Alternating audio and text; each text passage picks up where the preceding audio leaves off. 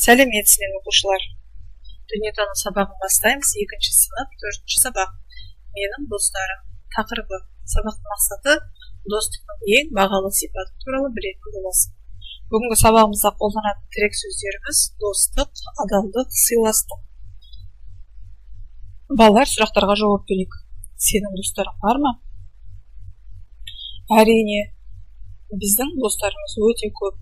Достарымыздың көбісі біздің сыныбымызда мектебімізде оқиды иә балалар көршіміз болуы мүмкін бос уақытыңда достарыңмен бірге өткізесің бе иә мен бос уақытымда достарыммен бірге уақыт өткіземін үзіліс кезінде олармен әртүр, әртүрлі тақырыпта ой бөлісіп әңгімелесіп кешкісін далаға шығып ойын ойнаймыз доп тебеміз кинотеатрларға барамыз ойын сауық орталықтарына барып демалыс күндері сабақтарға немесе ойынға арналған парктерге барып көңіл көтеріп ойнаймыз.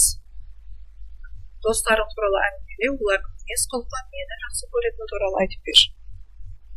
Менің ең жақсы екі досым бар. Олардың есімдері айдана самат. Ол айдана өте байсалды ақылды тәртіпті қыз. Сабақты жақсы оқиды түсінбеген тақырыптарды маған түсіндіріп көмектеседі. Ал самат үнемі көңілді жүреді. Бірақ тез ашуланады қолы ашық өте мейірімді бала. Достықтың ең басты сипаты адамдардың бір біріне деген сыйластығы көңіл қалдырмайтын келісім мен көмегі жатады. Мақалда не туралы айтылған ойыңды айт ағаш тамырымен адам дос адам? Адал дос еш уақытта дос досын сатпайды. Ол тіпті сені ренжітпеуге тырысады. Сенім білдіріп досыңа өз бастағы қиындықты немесе қуанышты айтуға болады. Өйткені сен оған сенесің. Ағаш тамырымен адам досымен мықты деген мақалдың мағынасы ағаш тамырсыз болмайды адам да дәл солай. Дос деген өміріңде ерекше орын алатын жүрегіңде өшпестей есімі жазылған адам. Досты таңдамайсың. Дос өзі өмірдің түрлі жолдарында кездеседі. Досы көп болу үшін дос көп болуы мүмкін бірақ шынайы дос табу қиыннан қиыны. Жалпы жақсы дос болу үшін үнемі бір біріңді тыңдап көзқарастарыңды ойларыңды ортаға салып отыру қажет. Нағыз дос адамға шабыт беріп өмірдің түрлі қиыншылықтарына мойымауға күресуге білуге үйретеді.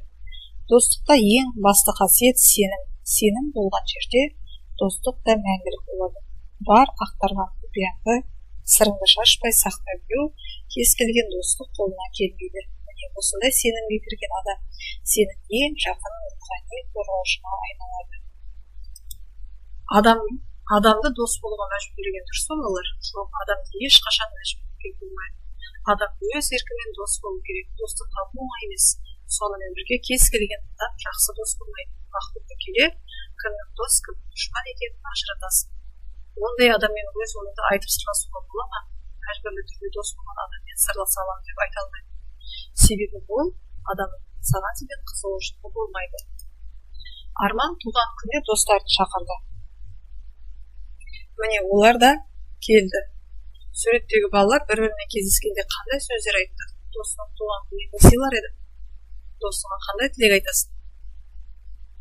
Балалар бір бірімен кездескен кезде бір бір өте қуанышты жағдайда бір бірін құттықтап туған күнімен айдынның туған күнімен құттықтады досының туған не сыйлар едің мен досымның туған күніне оның ең жақсы көретін сыйлығын сыйлар едім досыңа қандай тілек айтасың досыма ұзақ өмір зор денсаулық сабақты жақсы оқуын оқы деп тілек айтар едім